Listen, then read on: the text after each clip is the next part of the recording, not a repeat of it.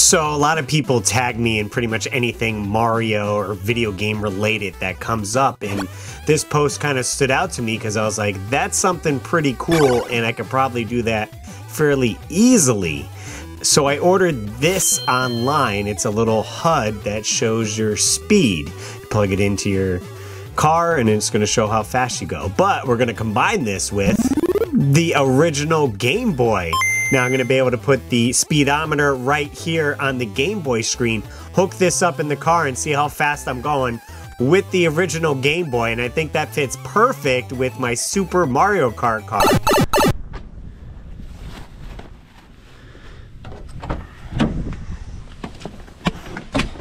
Okay, before we get into anything, I want to take this out of the box, hook it up, make sure it does what it's supposed to do, and then we can start taking apart the Game Boy and making it sweet. Comes with a USB power supply, a suction cup mount right there, and then here's the unit right here. Pretty small, I think it would work great as the Game Boy screen that's going to display the speed. So essentially this has a little thing on the back here that slides into here to kind of lock it in. So we might have to drill a hole in the back of the Game Boy so then this can come out to attach. Plugs in there. We'll just suction cup it somewhere and we'll drive around see if it get, gets the speed or not.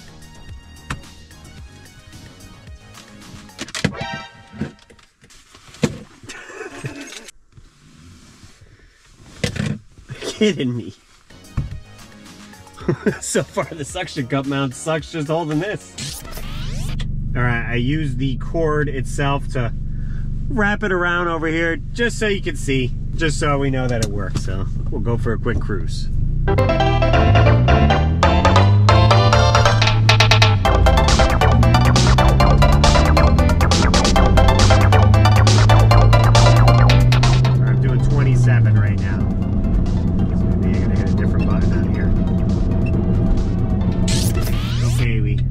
Switch some buttons around with the settings. It is now in miles per hour, so it's looking a, more, little more accurate. Okay, GPS says 18, 21. Let's see if I can get a consistent speed. 26 miles an hour on the GPS, 27. Yeah, 27 and 27. 28. I'd say the accuracy is pretty good and it's set up so now we just gotta get it in the Game Boy. So here is the speedometer unit. Let's just unplug the power supply, take a look at what we got. This is the suction cup mount, which sucked, so we'll have to mount it a different way. But here's the unit itself. This is what we're working with and seeing how we're gonna mount it into the Game Boy. It's fairly small, so I feel like it could fit there pretty easily. Looks to be about the same cutout right there, so it works great with the original Game Boy. Time to open it up.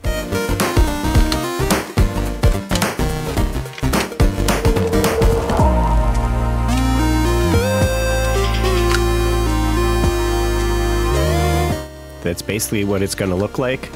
Fits pretty good, but it won't close with this back circuit board on there. So we got to take that out because it's in the way. We'll take this shielding out as well, and then we'll see if that fits. And it actually does. It has no issues right there. But I do need to plug it in still, so we're going to have to cut a hole in the back of the Game Boy so I can still plug it in. And I like to have some of the buttons still in the Game Boy. So we're going to take apart the PCB here, trim it down so it could fit inside the Game Boy with the speedometer in there. And I'm just going to measure how big of a hole I need to cut out. Sorry for people don't want to see me cut a PCB board on this, but it is necessary and this Game Boy was in non-working order. So I'm using my Dremel right here with a thin cut blade. This will go right through that easily. Make sure you're wearing a respirator. This kicks up a lot of dust. Once I cut that, I checked for sizing and made sure the hole was big enough We'll just pop that bad boy out. Look at that. There we go. And I did need to trim up a little bit on the sides there, but we got it to fit. That looks good.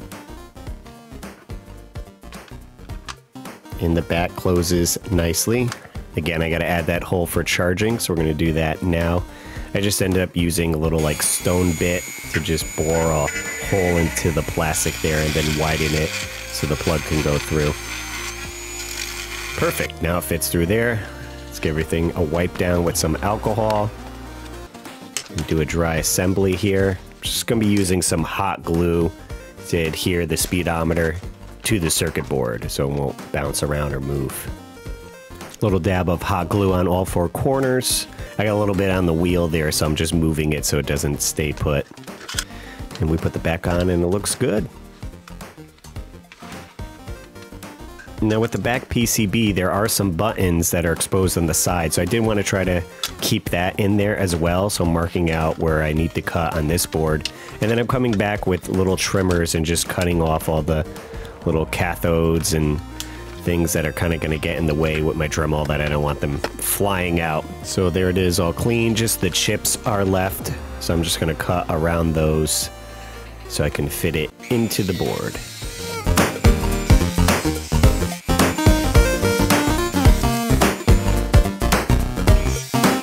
Now I did test fit like this and I needed to cut out part of that plastic where the cartridge goes because it was in the way where the power cord comes through.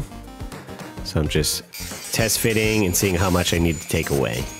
All right, let's get a assembly going. Got to make sure I put all the buttons back in and all the screws to hold everything down. Got that power cord, plug it in. Looking good, just add the screws. I think we're pretty good to go. All right, all assembled. The buttons still feel like they function, and we retained all these input things here on the side, so it looks like an original Game Boy, and all we did was put a speedometer in it. Now, I did want to put a Game Boy game in it, but it is blocked by the power supply there, so I'm going to have to modify a Game Boy cartridge to get that to work.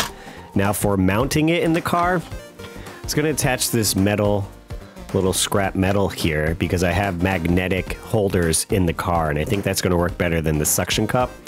So we're just using a metal grinding wheel and I'm just enjoying some sparks hitting my hand.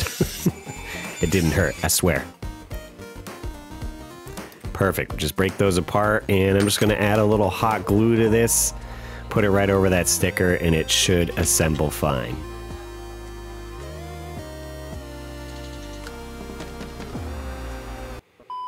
You guys should check out my podcast, The Weekly Warp Pipe. We do episodes every Wednesday and Saturday at 7 a.m. Watch here on YouTube or listen online.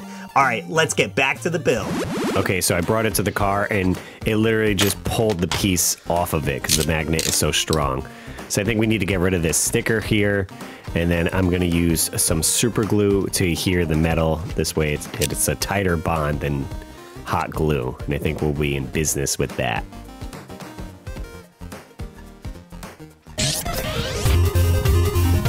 And one last step, I headed to my local game store, Retro Games Plus. I needed to pick up a Game Boy game. They had an assortment of import games here. Pretty cool colors on the cartridge. A lot of these are fairly cheap. And while I was searching, I found this one here that's actually broken. And I feel like no one's ever going to purchase this one because it is broken. And I'm going to need to cut the Game Boy cartridge anyways. So I feel like I'm saving it. So we picked this one up for five bucks. So I was taking apart the cart and I was like, all right, I just got to clip out some stuff here. So I had my little trimmers and clipped it. Oh, it split the cart. Ah, now I'm going to have to fix this. Should have used the Dremel. All right, so we're going to get some super glue in here and I have some quick activator. So it's going to set up quickly and then I'll just come back in with the Dremel, which I shouldn't have done in the first place. and we'll just sand it down nicely, and then it'll be able to fit into the Game Boy. Okay, I do need to design a label. This way it's custom. So I got the sizing for it. It's in millimeters here. And I'm just grabbing Super Mario Land just to get an idea of what the label should look like. And I'm looking at speedometers. Nothing's really jumping out at me. So I went to the actual listing that I purchased this off of eBay and I grabbed an image from there for the label, showing 100 miles per hour. And just keep it simple, I'm just going to name the game Speedometer. And I'm using an 8-bit font. And I wanted to get some cool time-lapse motion in a city. I thought that'd be a nice background. So I'm adding that as the background. A little bit of glow onto that text. And we got ourselves a label. Just got to print it out and put it onto the cartridge. All right, I'm just going to be using some photo paper instead of sticker paper just because I don't want to waste anything and this will work just fine. So I bring up the file on my computer and we print it out. Make sure to select 4x6 and print away. There we go, tiny little label. We just got to cut it out and get the old label off. Now the old label was giving me some trouble. I was using my razor knife here I decided to just get some Goo Gone and let that sit on there so the adhesion would break apart and it came off a lot easier. Just cleaned it up with some rubbing alcohol. And to attach the new label, I'm using contact cement so I'm just using a brush to paint some onto the cartridge itself and then paint some on the paper and I let it sit for about five minutes and it became tacky. And then this way the two surfaces will bond together nicely. There's the finished cart. One thing that was kind of annoying, those little tabs I kept on there, so I decided, you know what? Let me just sand them off and make it a flat cart right there. I didn't really need those tabs and it just looks a lot cleaner. Another thing that was annoying me was the metal bar kind of stood out. So I decided to paint that so it would blend into the Game Boy a little bit better. This way you don't see it as easily. I'm using a hair dryer to heat up the paint so it dries quicker so I can put more coats on there. And it has no problem still sticking to the magnet. So I painted the metal bar here so it blends in a little bit more with the Game Boy. And as you can see, it adheres right to the magnet and no issues of it falling off so far. Here's the finished cart right there, a lot cleaner You could just slide it in right there. Looks believable. The speedometer. Let's give it a test.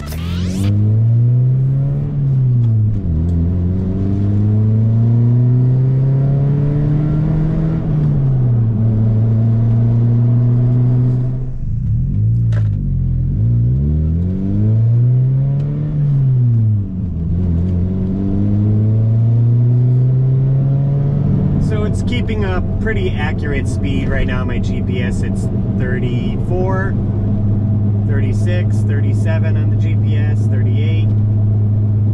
The downside is having the Game Boy right here. I can't see my RPMs for shifting purposes. I mean, I could just hear when to shift. I don't necessarily have to hear it.